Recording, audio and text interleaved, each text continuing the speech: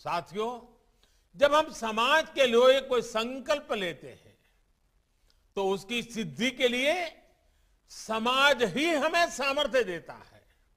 इसलिए आज एक ऐसे कालखंड में, जब हम आज़ादी का अमृत महोत्सव मना रहे हैं तो देश ने सबका साथ, सबका विकास, सबका विश्वास के साथ साथ सबका प्रयास का मंत्र दिया है।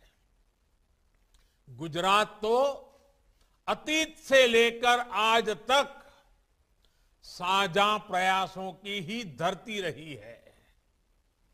आज़ादी की लड़ाई में गांधी जी ने यहीं से दांडी यात्रा की शुरुआत की थी तो आज भी आज़ादी के लिए देश के एकजुट प्रयासों का वो प्रतीक है, प्रेरणा है।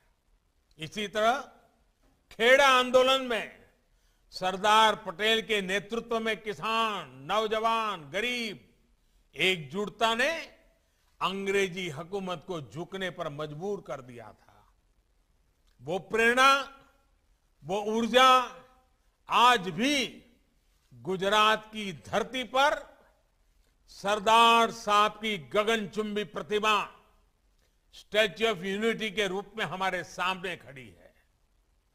कौन भूल सकता है कि जब स्टैच्यू ऑफ़ यूनिटी का विचार गुजरात ने सामने रखा था तो किस तरह पूरा देश इस प्रयास का हिस्सा बन गया था? तब देश के कोने कोने से किसानों ने लोहा भेजा था।